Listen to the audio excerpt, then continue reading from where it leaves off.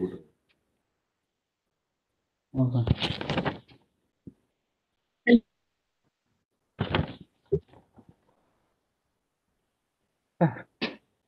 Hello? Hello? கேக்குதுல்ல Hello, hello. கலப்பலம் இருக்கு Hello? Yeah, ma'am, ma'am, we are able to hear you. You can start. Mm, able to hear you. Start. Okay. So, good evening all. So, welcome to this session of Rising Stars. சரி என்ன Speaker is Professor. மூஞ்சி கம்மியா தான் அது keep பண்ணுங்க இருக்காது Shall I continue? Shall I continue? Hello?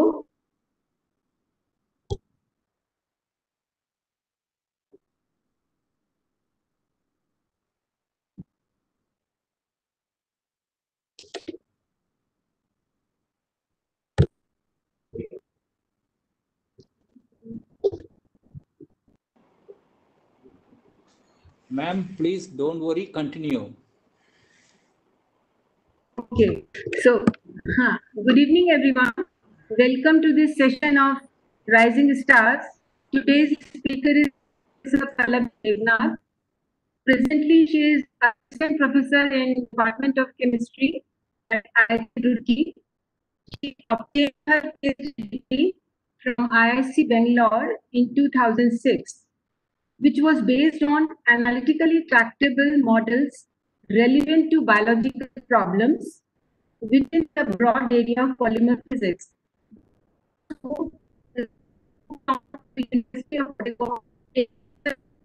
Of Professor M. G. Guenja. She joined Max Planck Institute of Colloid and Interfaces, Germany, as Humboldt's Research Fellow to work on single polymer friction. Since 2011, she is serving in IIT Roorkee as assistant professor. In today, she will discuss analytic theory in polymers within the realm of statistical mechanics. So now I will request Professor Pallavi Debnath to start, uh, start a lecture. Debnath?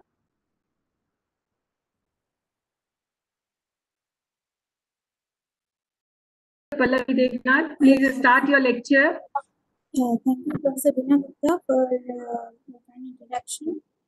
Uh, I thank uh, Professor uh, Justin Thomas, our HOD, to give me an opportunity to speak on this uh, webinar series.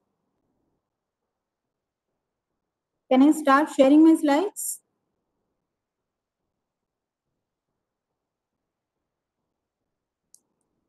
Yes, please go ahead.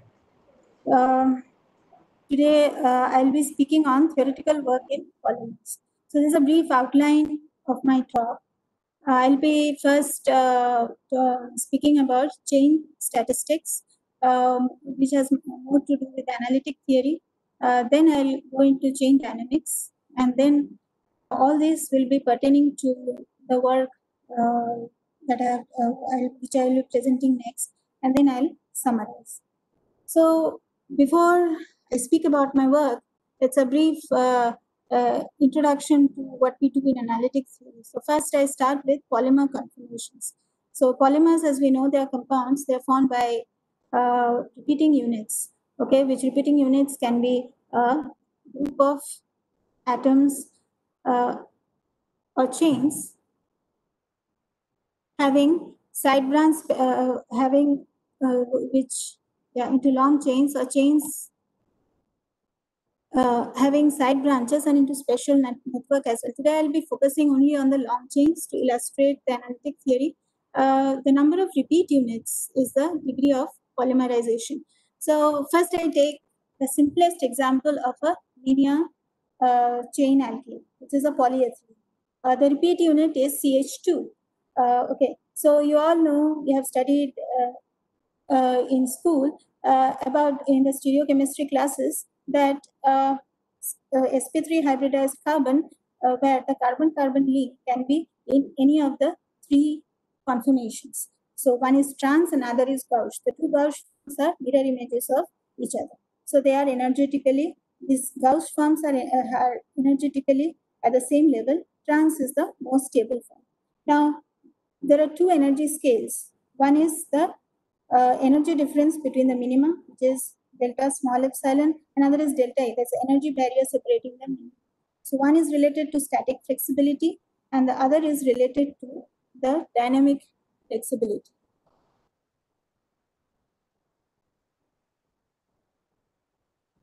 Okay, so uh, let's first talk about the stat- static flexibility. It defines the length scale. So the persistence length is one of the important uh, length scale which uh, determines the global flexibility of the chain. Uh, where x is the dimensionless persistence length is equal to the persistence length uh, over the contour length of the chain. That is the total length of the chain exponent an exponential delta epsilon by kbt. Now this holds at least true for the polyethylene. Delta epsilon is greater than CO. Now when we ignore details smaller than a certain characteristic length, uh, you will find the chain more, more or less like a coil. Now, if you zoom a portion of the chain, you will find a chain of trans conformations. Okay, these are trans sequences, and then there will be gauche sequences. Now, if the delta epsilon is K, less than kb, then you will have relative weight of Gaussian conformation is of order unity. So the chain is not fully stretched, and it will be more or less like a random coil. But if for slight values of this, there will be much more preferences for trans conformation as you see here. Then the chain is locally rigid, but then there is always a length scale where uh, which is large enough and it will again appear as a as a flexible coil. So uh, so we are talking about so I'll be focusing basically what we do. Uh, the theory that I do is on a larger length scale and all analytic theory is basically done in this where we don't care much about the details of the chemical bonds and this at a shorter length scale. Next, for completeness, I have included the dynamic flexibility, which has to do with the time required for a transition between trans and Gaussian states. Okay, so tau p is the uh, is the persistence time. It is a time required for uh, transition from this, and it depends on the delta E, that is the barrier between these two states. Now, if if this is uh, in the range of the thermal energy, the barrier is not important, and the transition or the isomerization takes place in the time scale of 10 raised to the power very fast. Okay, is a very fast. We say that the chain is dynamically flexible. There may be molecules which are flexible from a static point of view, but which have high barriers. Now, like which has steric uh, groups in the backbone. Now, the situation corresponds to a random coil, which is which is essentially frozen in a uh, in one conformation, like a piece of twisted wire. A molecule of this type in dilute solution could be uh, a single chain glass and should have some remarkable uh, mechanical properties. Now, after talking about the length scales and the time scales, I now go into the configuration statics of a, uh, of polymers. Now, for the simplest case of polyethylene, uh, which has n plus 1 uh, monomers or the repeat units, and the successive carbon-carbon links can be in one of the two states, trans or gauche. Now, uh, you can have 2 raised to the power different conformations for a end-linked chain, provided this number is if the links are independent. Okay, and uh, uh, don't go by the humble uh, 2. Uh, this is a very huge number in case n is large. Now, these conformations are often referred to as polymer configurations when we do the statics uh, of polymers. Further, if the potentials, we have the potentials, okay, which is then the potentials of free rotation and also the dihedral rotation, uh, which is determined by the steric interaction between nearby bonds, then one can calculate the probability of a particular chain conformation. A particular chain conformation is determined by uh, this uh, by this notation, which is uh, where Rk is basically the position vectors of all the n plus one elements or the repeat units, which we will just term it as monomers. Now, here the origin is at the R0. As long as, as long as we are not applying force to the polymer, uh, you can, one can conveniently take the origin at the uh, zeroth element. Okay, so these are the position vectors with respect to the origin. The squiggles refer to the uh, carbon-carbon links which we haven't uh, drawn here. Okay, so it's a long chain, the, the schematic representation which I have drawn. Now, once we have the, uh, uh, we have defined a model for the polymer, okay, we have defined all the potentials, then I can write this, which is a function of the, of the configuration, and that is the sum of all the uh, chain connectivities. And you see, chain connectivities because R this R naught is connected to R1 by the carbon-carbon link. Suppose for, poly, for polyethylene, it's a carbon-carbon single bond link, and so on. Okay, so uh, so that is the chain connectivity. It's just the fact that the monomers are connected to form a long chain. Okay, that's the connectivity. And then you have all other interactions, that is uh, long range, short range interactions, and so on. All other, I'll talk briefly about this. Okay, so this chain connectivity is expressed in terms of the bond product. This tau Ri. Now, what is this Ri? Ri is the bond vector. Okay, so it is Ri minus Ri minus 1. So it is a direction in this. Okay, it's a bond vector. Okay, it's e raised to the power minus beta ui Ri. If the bond uh, if the bond probability depends just on the Ri, that is the bond vector, then uh, this ui is uh, it just depends on the difference of this Ri and Ri minus 1. That makes the mathematics a lot more convenient. Uh, once the potential energy is determined, so we have determined the energy of a particular configuration at a fixed temperature. So that rings a bell for students out there. So it's a canonical ensemble I'm talking about. So I can write a canonical partition function. So you so each of these energy energy configurations uh, energy uh, instead of labeling the energy that we do that I did it in class, it's uh, basically a function of the configuration. So when you write the partition function, you integrate over the all the conformations or the configurations of the chain. Okay, G is nothing but is the exponential of this potential energy. Okay, and drk obviously if rk is uh, is represented by all the position coordinates of the chain, so drk is uh, this is a notation. Just it is dr1 dr2 drn we don't have dr0 because we have taken we have fixed the origin okay i0 is fixed at now so once the partition function this uh, partition function is uh, very important in uh, statistical mechanics so once you have fixed the partition function and you have the potential energy you can get, write the probability distribution function which is just this exponential term divided by this. Once you have these things defined, then what is this? DRK, DRK is the probability that the segment lies between the configurations RK and RK plus. Okay, so this is the differential amount. So this is the, while this is the probability distribution function, it is a small detail which helps in doing uh, getting the things right and dimensions right. Now, here we didn't mention about the what is the model of the chain that we can. So, uh, as long as we deal with flexible polymers, so uh, then that means all the energetic interactions, all the other interactions except the chain connectivity is R0. So, uh, one model that fits into it is a random flight.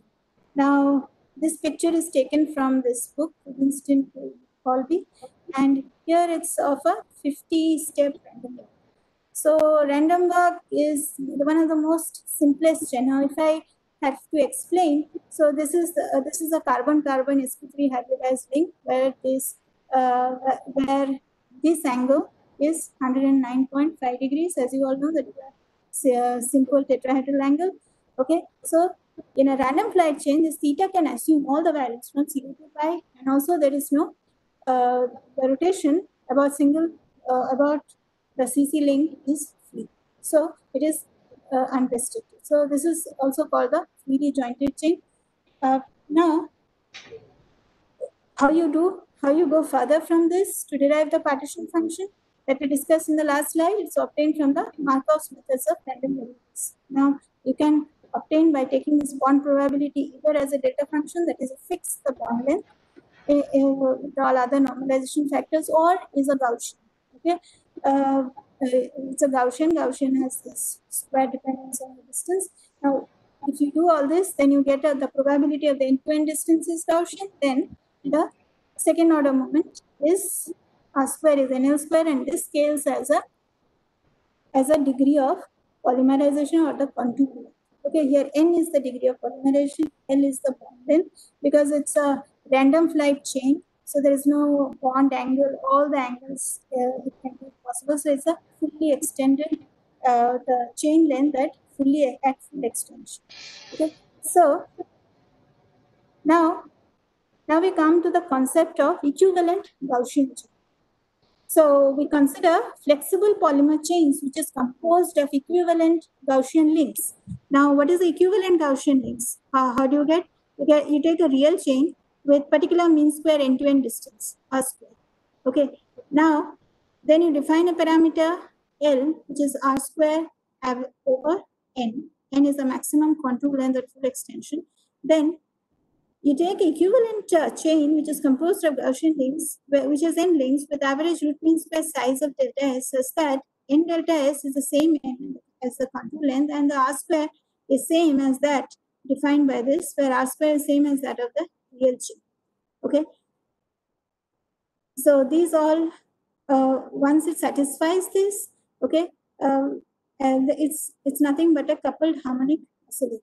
Now the bond probability is Gaussian okay l is the effective bond length you can say okay uh, delta s we already defined so this is a gaussian bond probability now probability of entire chain configuration is this and this and this turns out the uh, this is a probability this is a probability distribution and this turns out to be the uh, as a product of all the bond probabilities times the differential DRI okay and this is obtained the limit when you take all the W's, all other interactions to be C. Here also, we have fixed the origin at R0. Okay. These are, these are all the R's are the same. Now, we discuss the continuum limit. So, this quantity is for a discrete chain. Now, in the continuum limit, if I have to go to the continuum, so what I do, the delta S, that is the, there is a segment, RMS length tends to zero, n tends to infinity, the degree of polymerization tends to infinity, but then the contour length is finite. Okay, this is also called the uh, FI limit, uh, which we denote as FI limit, and this, this quantity turns out to be PRS delta S. This is basically uh, comes from the functional uh, uh, differential of this path del rs okay? Uh, within the functional derivative uh, okay. So and this is what it becomes. Drs is this now this n is the calligraphic n is the normalization constant times this delta R is. Okay. Now we don't uh, normally we don't end up calculating this because there is uh, uh, this is obtained uh, by whatever the partition function that you get or the probability that you get. Uh, it's automatically calculated by uh, fixing the condition that the probability is normalized. Okay. Now this is the functional e raised to the power minus 3 by 2 integral over 0 to 1 adult square. This is the time derivative. This is the uh, del r by del s whole square ds. So this whole thing is the function and also called, and this whole quantity, the left hand side is also called a one dimension. So basically, we transpose the, after taking all these limits, you go to the continuum, you get a continuous equivalent random fraction. Now, what is that? Uh, here, it's a continuous curve, Rs, where S runs from 0 to n. And Rs is the position vector, and we fix the origin uh, here also you can conveniently fix the origin at s equal to zero. Uh, R0 can be taken to be zero as long as we don't apply force at the ends. Okay, if there is no external force in the field, uh, external force applied to the body.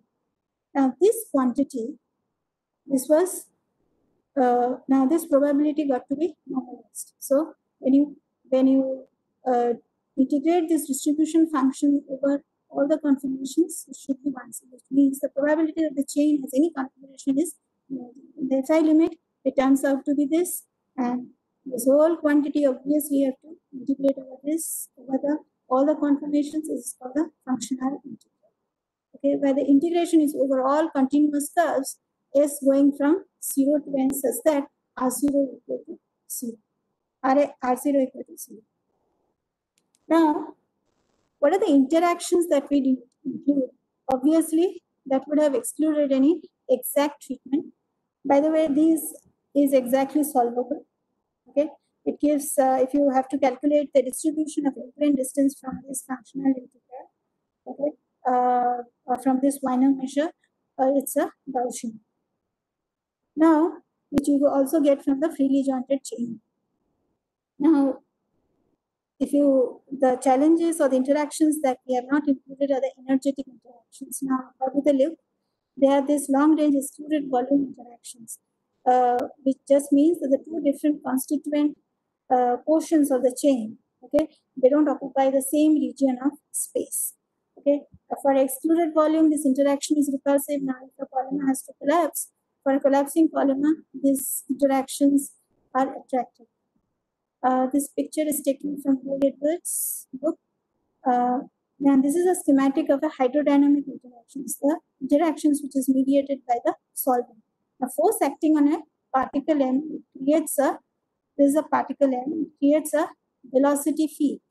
Okay, a force acting, it creates a velocity field which is uh, that acts on other particles, on the surrounding particles, and this uh, this uh, interaction is mediated by the solvent. That is called the hydrodynamic interaction. Okay, and this uh, represents the interacting monomers of a polymer chain. Okay, uh, uh, the modeling this is of course very complicated, but, and that excludes any exact treatment. So, but we have well-studied approximations do exist, and it goes beyond the scope of this talk uh, Rouse model. So Rouse model is, it describes the dynamics of these kind of flexible polymers with localized interactions. Okay, now what is the Rouse model? It is comprised of a set of beads which is connected along a chain by harmonic springs. We already talked about it. It is a equivalent Gaussian chains. Okay, uh, so uh, Rouse dynamics is the dynamics of a, this uh, Brownian motion of these connected beads okay, with all the excluded volume and the hydrodynamic interactions completely disregarded. And this models the uh, dynamics of a polymer in dilute solutions. Now it is expressed as a evolution of a distribution function, namely the Smoluchowski equation or a chain position coordinate. We will be discussing the chain position coordinate in over time, which is also known as the Langevin equation. In continuum limit, this equation looks like this. This is the frictional term, and this is the coming from the potential, the, the connectivity uh, force from the chain connectivity. This is the random force. This, this and this are added. This can also be obtained as a Lagrange equation of motion uh, by uh, within the by minimizing the Uh, now, art this is uh, written as a 1D equation where gamma can be x, y, or c uh, with free and boundary conditions. Uh, free and boundary conditions, why it is free and because uh, there is no continuity of the chain beyond tau equal to 0 and beyond tau equal to n. So it has to satisfy, these are the boundary conditions that fixes or that stops the chain, that stops this function going beyond these limits. Okay, uh, and the random force is a white noise, which is delta function correlated, and it is defined in this way. Uh, the quantity here you can identify as a bead diffusion coefficient, which has an extra uh, dimension of length, uh, and the d is kbt by uh, by zeta. Zeta is the friction coefficient. Um, in Doi-Edwards, uh, the continuum variable here the continuum variable has dimension of length. In while in Doi-Edwards, it's the uh, its dimension is. So that's the only difference that I have. But you can always look at our paper. It's done. All these nitty-gritties are worked out. Now, Rouse, how to solve this? Um, uh, here, before ever thinking of solving it, you have an extra variable tau. Okay, uh, we have to decouple this tau and t, and this is done within normal mode analysis. So, normal mode anal- no, what are normal modes? They describe the independent collective motions of a unibody system. Uh, so, uh, zero, where the zeroth mode is always the center of mass mode, describing the translational degree of freedom. First mode is rotational. The you can always have the vibrational modes uh, pertain to the higher modes. So, basically, uh, how you define that? 1 by n, zero, uh, xp is defined in this way. This is 1 over the component, integral of 0 to n, beta cosine function. Now, why you get the cosines? Because uh, this cosine satisfies the uh, boundary conditions and also the differential equation. Okay, uh, for all equal to 0, 1, 2, and so. Now, so in such a way that r tau 2 is expressed as a linear expansion in this in this cosines. Okay, so xp Physically, if you uh, want to understand this, xp represents the local motion of the chain, which includes approximately n by p segments and correspond to the motion with the scale of the order np by p raised to the power.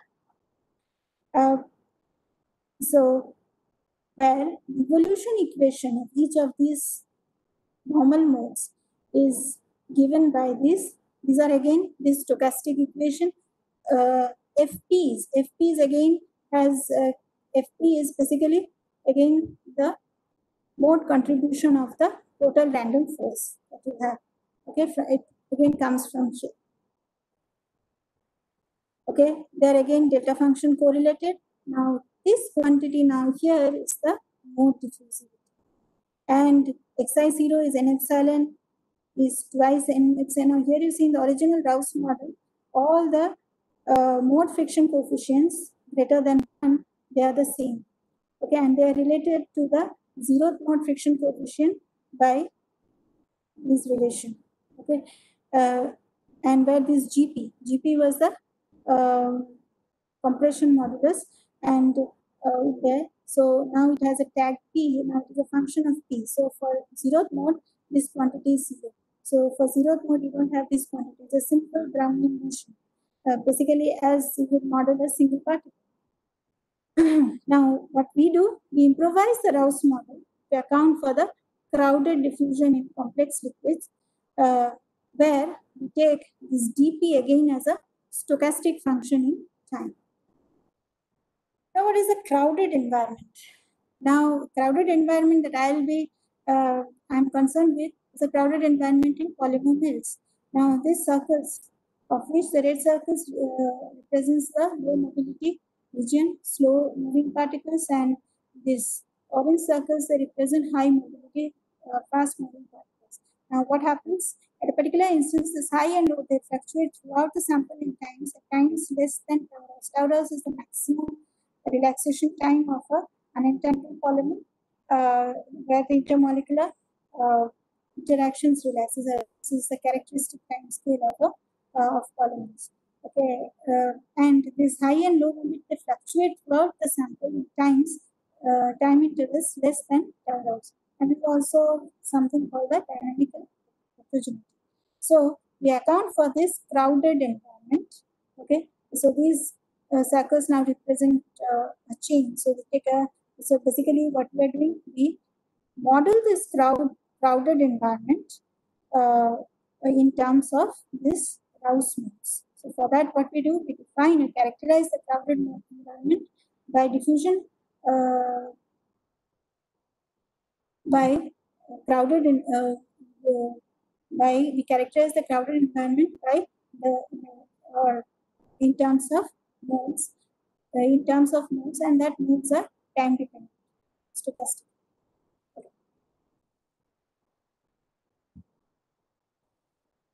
Now, what are the consequences of the crowded? First is the anomalous diffusion. The second is the non-Gaussian distribution of displacements. Anomalous diffusion is known in uh, in uh, polymer polymeric liquids. So we observe subdiffusive center of mass and monomer dynamics in polymer liquids at times less than the longest relaxation time. Okay, so anomalous diffusion where the MSD of the particle varies with time as t raised to the power mu, the exponent is not equal to 1, mu equal to 1 for Brownian diffusion. Now, uh, non-Gaussian distribution. So distribution which is not Gaussian. So this is from our uh, uh, from our work. Here you see uh, these points are the data points. Okay, the dashed line is the Gaussian fit, the closest Gaussian fit to these data points, and the derived equation is the uh, is again Gaussian, and it was derived by assuming intermolecular potentials to be harmonic. Okay, and that turns out to be Gaussian, which is basically what we did. We derived the self part of the van Hove distribution function. So, uh, so this is the uh, this is how the so the time that we have taken the times is much much less than the rho. So we develop an exact theory based on Rouse model where we model the crowded environment by diffusing diffusivity. What is a diffusing diffusivity? Is a, is a term that was coined by Chubynsky and Slater to uh, uh, where it models the particle diffusion coefficient uh, as a stochastic process. But this was done for only single particle diffusion. Now, what are the first principle theories uh, for polymer liquids? One is by the generalized Langevin equation approach. Uh, so Schweizer did the pioneering work on this. He derived the equation of motion uh, uh, of monomer from complete phase space of polymer and solvent and projecting out the uh, fast dynamics of the solvent onto the relevant slow variables of the polymer. What Guenza did, Guenza generalized this treatment and identified the slow or the relevant variables to be the uh, variables that span the RG or the radius of gyration of the uh, polymer. So, uh, um, but again, it is not exact. Uh, they did huge approximations on determining the memory functions okay, that come out from the projector operator techniques. Vilgis found out provides an alternate to the projection operator formalism. So he writes a linear Langevin equation which contains the influence of polymers uh, that is interacting with the tagged polymer, their equilibrium uh, properties of the surrounding polymers. Then he figures out a way to solve within the path integral formalism. Uh, again, that is not exact, uh, but uh, yeah, but they are celebrated theories. So underlying complexities in these above techniques which excludes any exact treatment. Okay, so what we do, we assume the crowded environment to be mode resolved. That is one assumption in a post-10 model of polymer, which entails, and this this assumption allows an exact treatment, and this is in contrast to mode coupling theories underlying the projection, uh, which uh, has the inherent projection operator methods that models the coupling of the surrounding environment to the tagged polymer. Now, what is our path? Uh, uh, how we uh, uh, ended up doing this problem. We had a single particle uh, diffusion in crowded fluid systems, where this is a schematic picture of an experiment done from the Steve Granick probe, where is a schematic illustration of a small fluorescent probe particles diffusing in the large matrix molecule. They found a Fickian, that means um, um, Fickian, that is uh, the MSD goes as T, it's Brownian, yet the distribution is, uh, distribution of displacements is not Gaussian. Now, to explain this kind of phenomena, uh, Chubynsky came out with the diffusing diffusivity concept, where the diffusion coefficient for single particle diffusivity fluctuates in time, and then writes the evolution equation for the distribution of single particle diffusivity. Jain and Sebastian, they were the first to uh, implement this analytically by modeling by a dual stochastic process. So first stochastic process is for the position coordinate for the single uh, particle coordinate, which is a Brownian, and the other for the diffusion coefficient, which the model as the Ornstein-Uhlenbeck process. It's a much more generalized Brownian process with a potential of mean force. Okay, then came, uh, but it contained complicated phase-space path, path integral techniques. Chechkin came out with a bivariant Fokker-Planck equation distributions, and then Tyagi et al. They generalize, they simplified these two approaches, and our approach is more or less um, uh, uh, for, uh, we generalize this to many particle system and more or less uh, goes by this simplified approach of Tyagi and. Okay, so what we did, we implicitly allow the polymer diffusivity, okay, in terms of Rouse mode diffusivities and uh, which fluctuates in time. So implicitly, we express the polymer diffusivity in, uh, as a function of tau, okay, and time, thus modeling the uh, crowded environment. So this is a schematic of a Rouse polymer in the crowded environment. Now, more, diffu more diffusivity as a stochastic process. So our first stochastic process was the Rouse uh, original Rouse dynamics, where the chain of connected waves perform the Brownian motion. The second stochastic process, uh, process in the dual uh, stochastic process technique, we, uh, we model the each of the mode diffusivities. Now you see, dp is just a function of time, and we model that uh, as a square of the np dimensional Ornstein-Uhlenbeck process. Okay, in this way. Uh, now, why we take np dimensional, uh, not a si- single dimension? So these are the reasons. Now you see, is a generic Brown uh, Brownian motion doesn't have this term. You have this potential mean term now Ornstein-Uhlenbeck process. This we get P is the strength of the potential mean force, which accounts for both intra and intermolecular interactions. NP, NP is the uh, it, it increases the coupling of the Rouse chain to the crowded environment. So it gives a handle to increase or decrease the coupling of the um, this coupling with the crowded environment.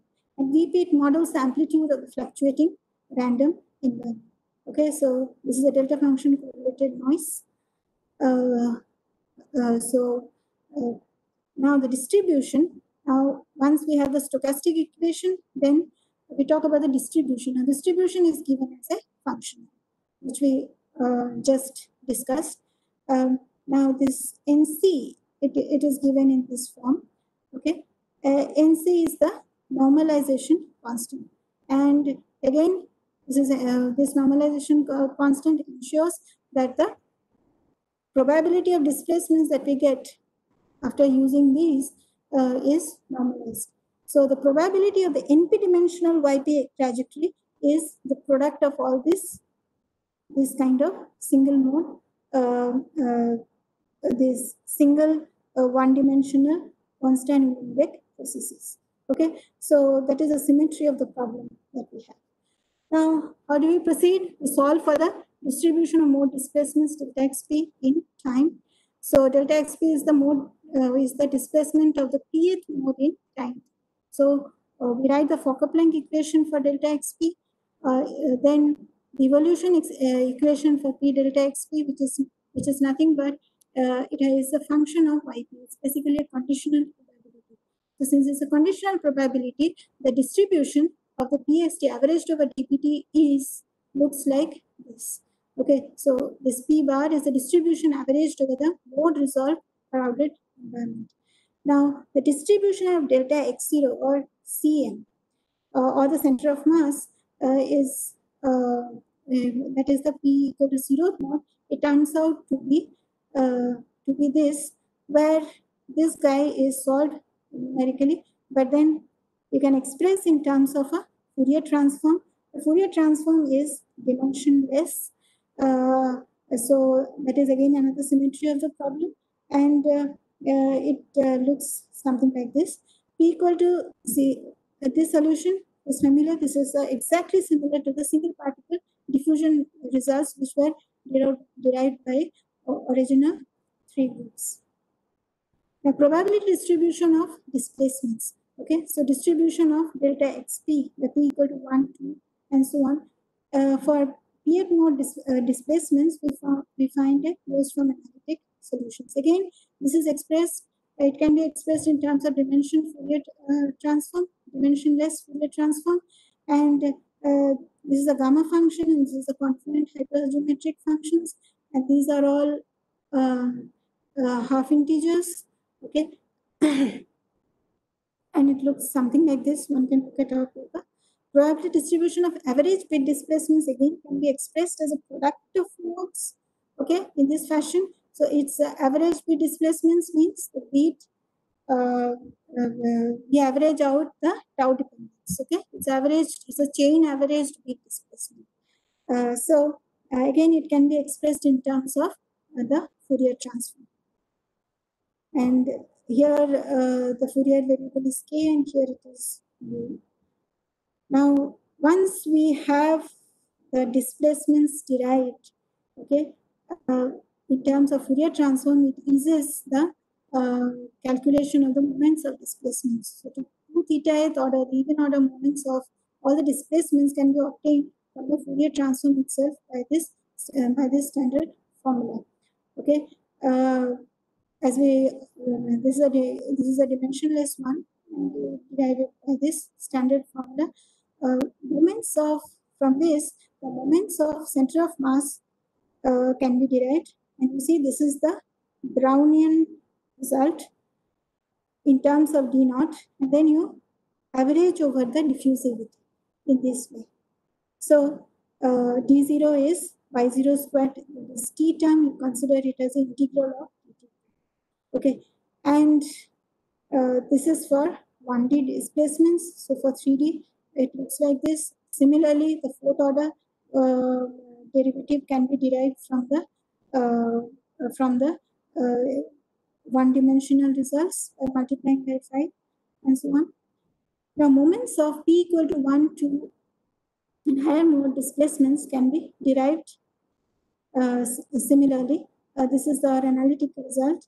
Uh, and uh, uh, these are all the mode resolve parameters. Now you see, these all results come very nicely from the Fourier, Fourier transforms.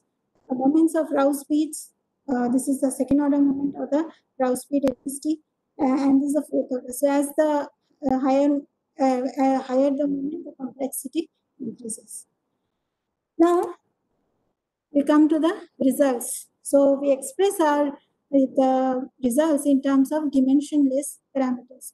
So this is the our zeroth mode displacements are non are has a strong non-Gaussian character. So strong non-Gaussian behavior is found at small t and in zero. Uh, some of these results were uh, found by Jain Sebastian. So T0 is a dimensionless. So uh, these are all dimensionless variables that you see here. Okay, and this is the 1D and this is the 3D uh, distribution. Similarly, the the modes, uh, p greater than zero modes, okay, they also have strong uh, Gaussian behavior. So it, it is a function of TP, XP, uh, a function of another vari- another length factor LP, okay, uh, which looks something like this, and uh, and this uh, this is a Fourier transform variable is also uh, uh, taken to be dimensionless NP and also the mode number P. Okay, so strong non-Gaussian behavior is found at small p square by LP, TP and NP similar to T naught and N and P greater than uh, zero mode displacement can be collapsed to a single curve at fixed P square by LP. Okay. Now we also get a, a non-Gaussian distribution of delta RT. Now delta RT is in terms of modes. Okay, so uh, so the distributions they converges in the first 10 modes. Uh, MSD con- uh, the and the rate of convergence is very good. Uh, converges to 95.7% of the well converged result uh, until first four modes and ninety-eight point five percent within the first 11 modes. So P0 uh, zeroth mode contribution is about 82%. Okay, so these are uh, these are the values of these parameters. This is the first four nodes. Okay, uh, so we have taken uh, minimal distinct parameters as you see. And we also in investigated this investigation uh, forms important in mathematical terms if we had any since uh, our results for delta RT and uh, node is uh, numerical um, it, it is only uh, solved numerically. So additional power exponent uh, in the exponential uh, has to be determined numerically. So what we do we plot this versus this okay?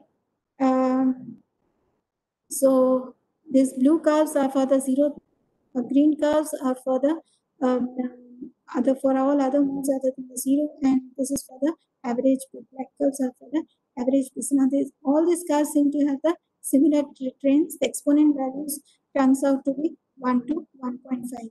So these are these C and D or the uh, these B and D. They are obtained from the difference curves of this, which gives the exponent value itself. Okay. Now, what is the scope? So, our theory has a scope in explaining the anomalous diffusion compared to polymer melts data. Now, this data we obtained from other research groups of uh, and rest. Uh, so, here uh, we find that our P equal to zero theory is adequate in explaining the melt average data um, as is, and we could retrieve the uh, anomalous diffusion uh, of center of mass and for times t less than tau hours. Okay. Uh, our results reproduce the non-Gaussian distribution. This distribution are all non-Gaussian. Okay, and you have a different set of parameters as you see. Uh, this inset is the center of mass curve, and this is the monomer curve. Um, and uh, center of mass and monomer they are implicit.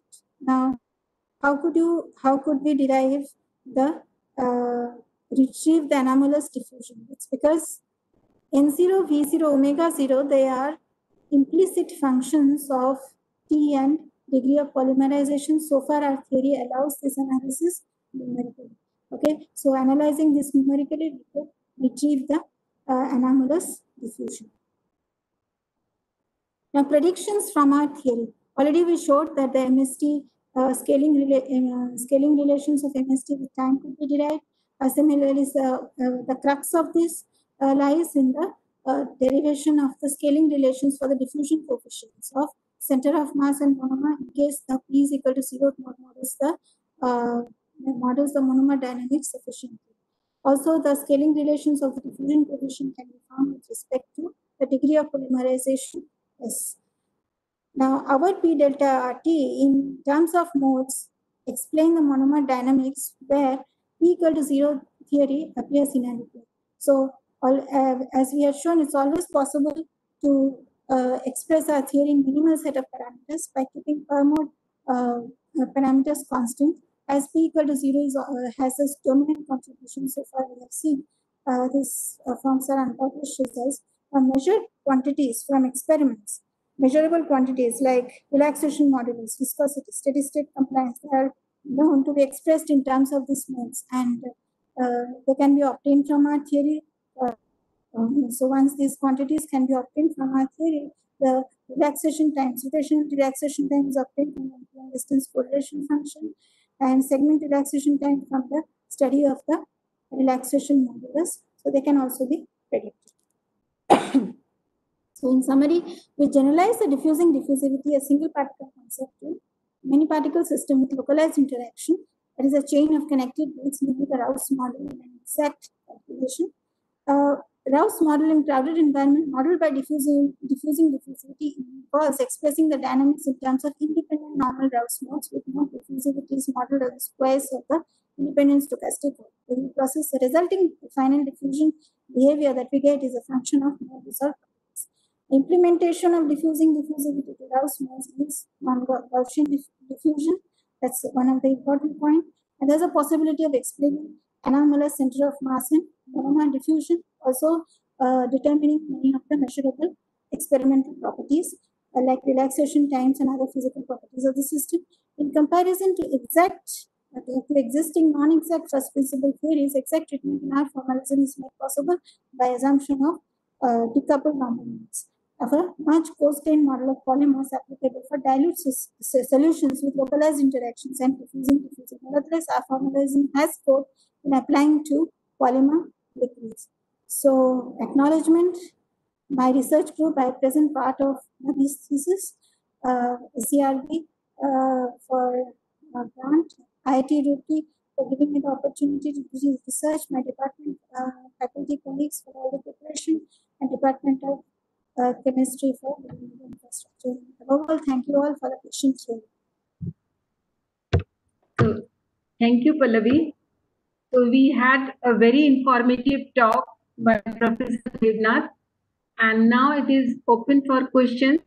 So please go ahead with your questions. Please, with your questions, any questions from the audience?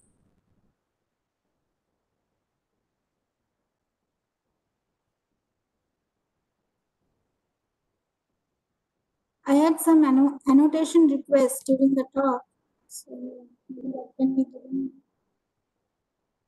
by somebody, Miss Biswas, I guess.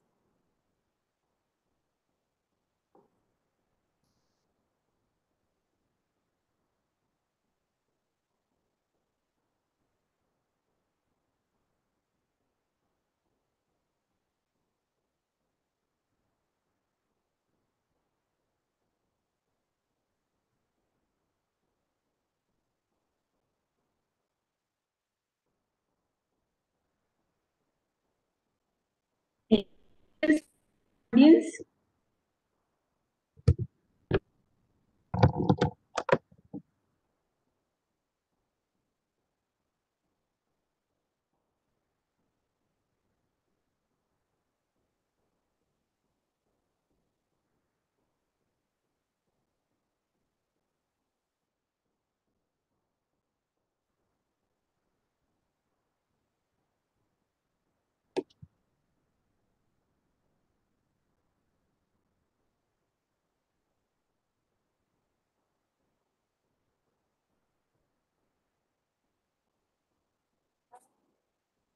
That if there are no questions, we can assume that means that that uh, was self-explanatory and everything was explained very clearly.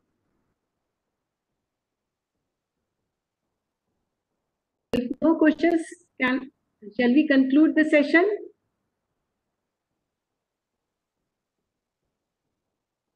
Thank you all. Thank you, Professor Debnath, for such an informative talk.